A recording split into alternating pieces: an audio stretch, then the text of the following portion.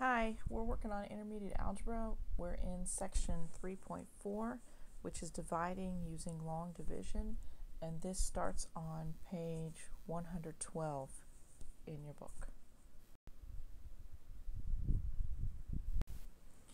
Okay, the first thing we're going to do is uh, review some basic long division and I just, uh, these are random numbers, just to review what happens with long division, because when we start doing this with polynomials, it's actually the same steps, you just um, have to think about it a little bit differently. So when we divide using long division, and of course, I know most of you would probably do this on the calculator, but with polynomials, you can't use a calculator, so that's why we're reviewing this manually. We divide 5 into 32 goes 6 times.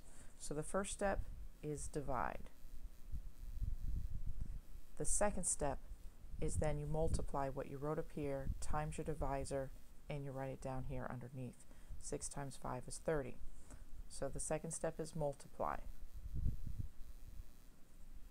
The third step is subtract. We subtract this, our multiplication, from our starting numbers. So the third step is subtract. And 32 minus 30 is 2.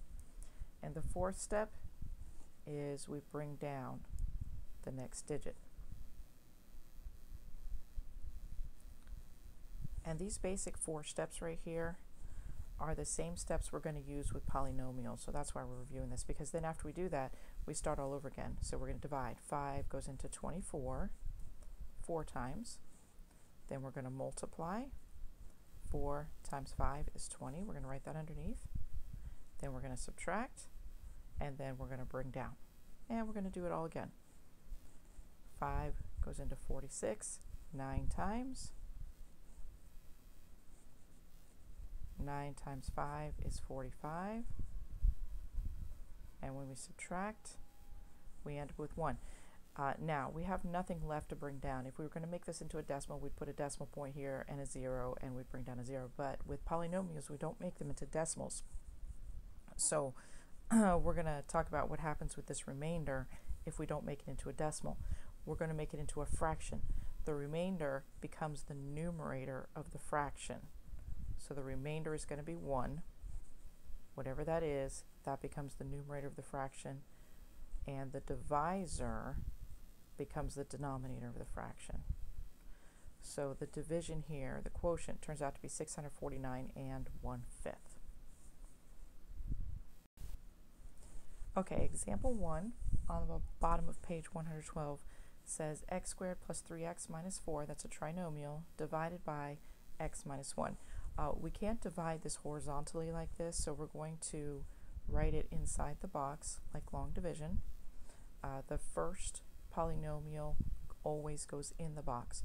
You want to make sure this polynomial is in descending order and there are no terms missing.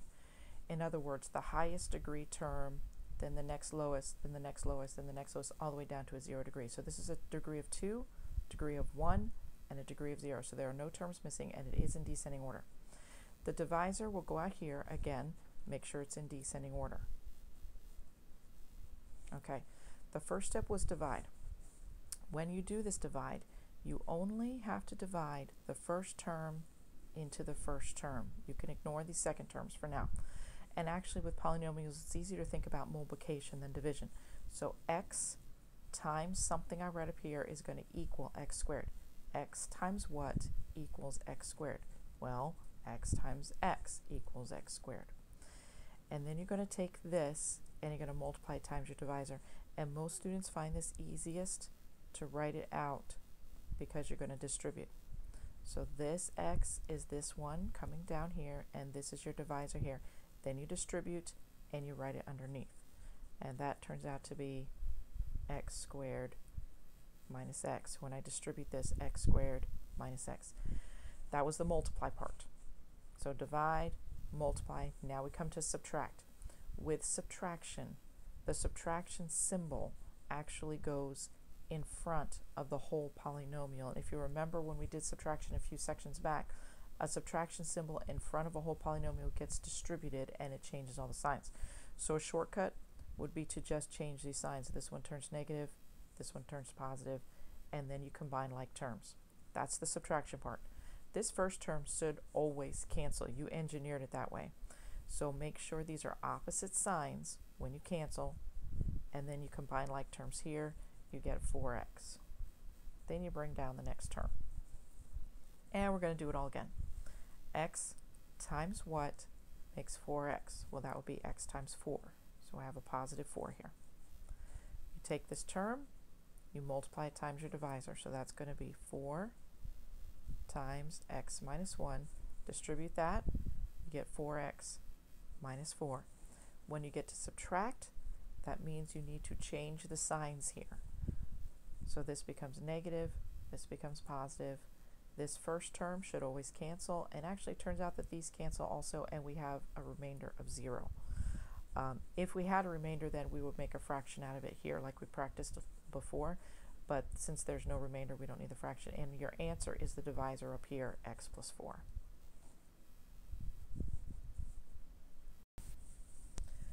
All right, example 2 says 2x squared plus 3x plus 7 divided by 3 plus x. And by the way, this is on page 114 if you're trying to follow along.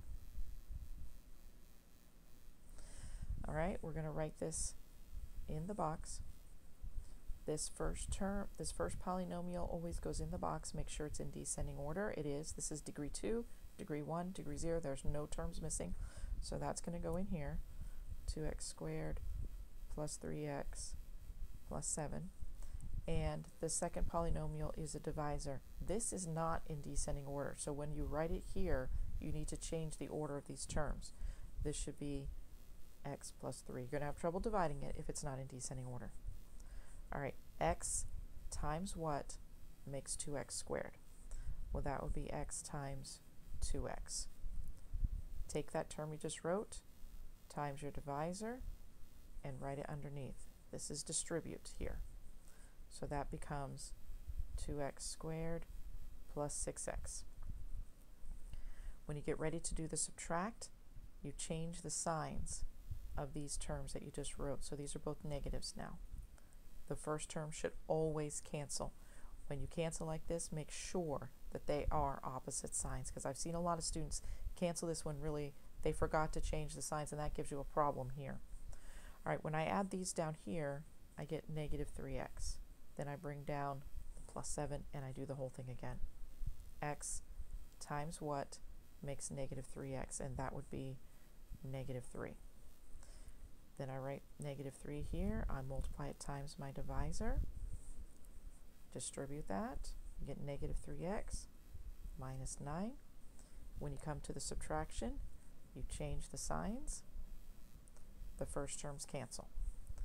Then when I add these, I get 16. All right, you know you're done when this degree is smaller than this degree or less. This is a degree 1 this is a degree 0, so we're done, and this is the remainder. This remainder we're going to turn into a fraction up here. Make sure you always bring the plus sign with it because you are making a new term. Uh, if this was a negative remainder, we'd use a minus sign here. The 16 becomes the numerator. The divisor, x plus 3, becomes the denominator. and this is your final answer, your quotient right up here. Okay, for example 3, we have 5x cubed plus 4x minus 7x squared divided by x squared plus 2x plus 1. All right, we're going to put this in the long division box. The first thing I notice when I get ready to write this is, is not in descending order this is a degree 2 and it should go here. So these two terms need to be flipped. So that will be 5x cubed minus 7x squared plus 4x. Do not forget if you change the order that the sign goes with this coefficient. So that's why this is a negative 7x squared. This is a positive 4x. The other thing I notice is that there's actually a term missing here. When you look at these degrees, this is degree 3, 2, 1, there's no zero degree term or no constant term. If you have a term missing like this, you need to add a zero in there. you should have all terms all the way up to whatever your highest degree is down to a zero degree or a constant term. This divisor is in descending order. It's going to go out here. So x squared plus 2x plus 1. The only thing, um, if you notice now, this is a trinomial. Instead of the last two examples were binomials. The only thing that changes is when you do your distribute, you just have more multiply. That's the only thing that it changes. x squared times what makes 5x cubed? Well, that would be times 5x.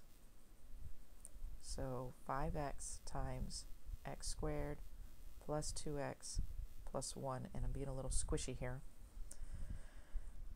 Maybe I should zoom out a little bit. Let's erase this and write it again. So 5x times x squared plus 2x plus 1. You just distribute this and write it underneath. So that gives us 5x cubed plus 10x squared plus 5x. The next step is the subtract, and that changes these signs. So this is negative, negative, negative. First term always cancels. Check to make sure they are opposite signs. Then you just combine like terms. So this is, becomes a negative 17x squared and a negative 1x. Bring down the next term. Do the whole thing again. x squared times what makes negative 17x squared, and that would be negative 17. Then we're going to distribute that negative 17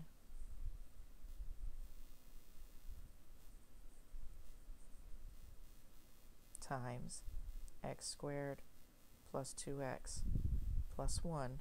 We're going to distribute that and write it underneath. So that's going to be negative 17x squared minus 34x minus 17. When you get ready to do the subtract part, you change the signs. So this becomes a positive, a positive, a positive, and these are all positives now. First terms cancel, always making sure they are opposite signs. And then we combine like terms down. So this becomes 33x plus 17. All right, you're done when this degree is less than this degree. So this is degree 2, this is degree 1. So this is going to become the numerator of our fractional term. So plus sign bring both of these terms up to be the numerator here. So 33x plus 17 over the divisor, this entire trinomial, x squared plus 2x plus 1. And this entire thing, this entire quotient up here is your final answer. All right, example 4 is on page 117. It says x to the fourth plus 10x squared minus x plus 9 divided by x squared minus 5x plus 3. So we're going to write this inside our division box, making sure this is in descending order and there are no missing terms. All right, well, this is degree 4, degree 2, degree 1, degree 0. So they're in descending order. However, there is a degree missing. There is no degree 3 term. So when I transfer this in here, I'm going to add a degree 3 term. Um, and that's how, this is how this works. x to the fourth would be the fourth degree. I need a third degree. So I have a co coefficient of 0, x cubed. And that has no value. It's just really going to be a placeholder. Um, you can do this without adding that in, but you may have trouble lining up your like terms. This is a 10. All right, so because there was no 3 degree, I used a 0 coefficient with an x cubed. Now, if you leave off the 0 coefficient, you're going to have a, an invisible 1 here. You cannot do that. That will change the value if you put a 1 here. So make sure you use the coefficient of 0 when you put in the missing terms. Um, so what else do I have? 10x squared minus x plus 9. This is the divisor. This goes here. It's already in descending order. So we're going to have x squared minus 5x plus 3. All right, x squared times what makes x to the fourth, and that would be x squared. Take that x squared that you just wrote, multiply it times your divisor, and write it underneath. That's going to give us x to the fourth minus 5x cubed plus 3x squared. Okay, if you're watching right now, you'll see if I did not put this extra term in here, these like terms would not have lined up correctly because this term would have been over here and you would have had trouble combining like terms. So that's the only purpose for filling this in is to make sure that your like terms all line up. All right, in the subtract, we change sign. So that's a negative, this is a positive, this is a negative. These first terms cancel, always making sure they are different signs. And then I combine like terms vertically. So this becomes 5x cubed plus 7x squared, and I bring down the next term, negative x. And I'm going to do the whole thing again. x squared times what makes 5x cubed? And that would be 5x. So this becomes 5x here. Then I'm going to take that 5x, I'm going to write it here, and I'm going to multiply it times my divisor, x squared minus 5x plus 3, and that's going to be a distribute, and write it underneath. 5x cubed minus 25x squared plus 15x. Then we're going to change signs. So negative, positive, negative. These cancel again. Make sure they're different signs. When I add this, I get 32x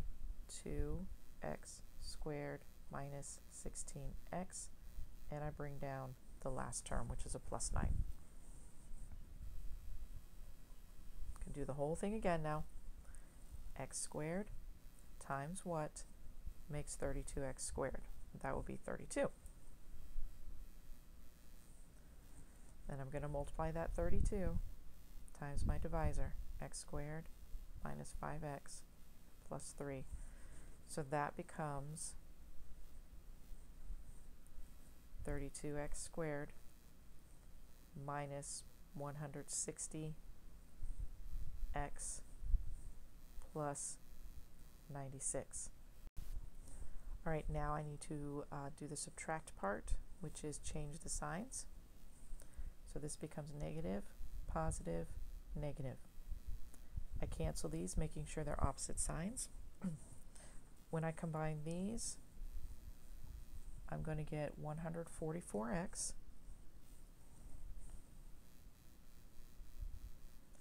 minus 87.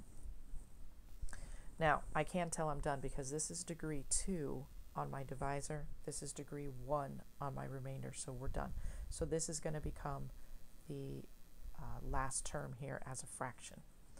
So let's use blue. Um, plus sign. 144x minus 87 over the divisor, which we can't see anymore, which is over here, so x squared minus 5x plus 3.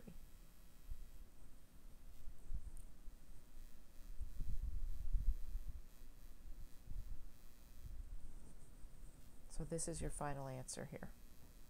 Always up here at the top. All right, looks like that's it for this section. So um, I know you're going to have some questions. Just bring your questions to class. We'll review together and look at the homework on page 120.